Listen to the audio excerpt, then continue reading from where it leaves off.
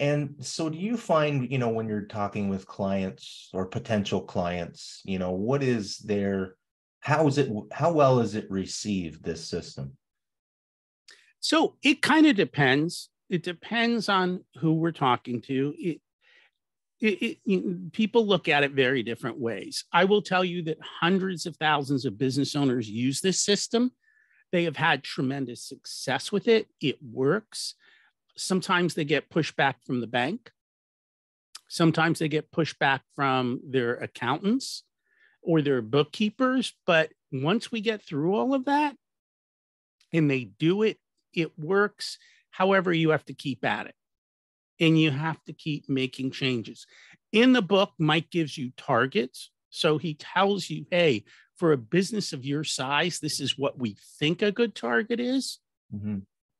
And business owners have to work towards making those changes to be more profitable. So it, it's designed to force you to think about your business, to think about your spending, and to think about how to be more resourceful in your company rather than just what we all do, which is to spend money all the time. Yeah, yeah, absolutely. And what do you find when it comes to education around um, the financials in the businesses? Like uh, you said earlier, you know, people look at, you know, what's in the bank account. And, you know, do you believe that that's enough information to operate a business well? No, but it's a first step, right?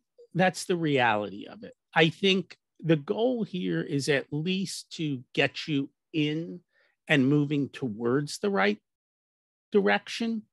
Um, I, I don't think it's an end all be all. But for the business owner that's struggling or that doesn't have as much time to focus on this, it, it's kind of forcing the actions to take place. Now, once you get the system started in the basics, I think a big part of it is looking at all the different areas where your spending is going on and then making wise decisions there. So, a lot of times we find that business owners sign up for all these different services, all these different softwares, and they're not even aware that they're still paying for it and they stopped using it. Right. So I think part of it is that part of the what Mike talks about in the book is to do an expense audit. In other words, go through all of your spending and ask yourself, is this actually useful? Mm-hmm. And is it productive? And does it help me to generate more revenue? And does it help me to be more profitable? Too often we spend money on what we call vanity items. You know, oh, that looks nice, or I need this, or more often than not, you don't need half of that stuff. That's right. And so part of it is to actually challenge yourself. Do I need this? Is this appropriate spending or is this inappropriate? And then make those hard decisions and make the cuts.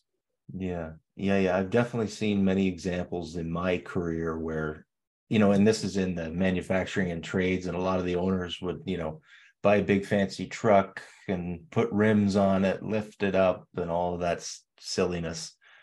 I mean, it's not silly to them, but to me it is. And I'm thinking, you know, maybe that money could be spent in a better place, you know? Well, does that drive more clients? Does it drive more revenue? No. I mean, it, it's ego spending, and we get it.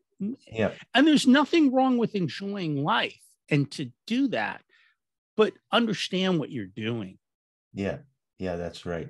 So, uh, yeah, and you say the ego. I think the ego is a big thing when it comes to business owners. I mean, a lot of them are those personalities of that's what got them there, right? Was having that big personality, that drive, that push.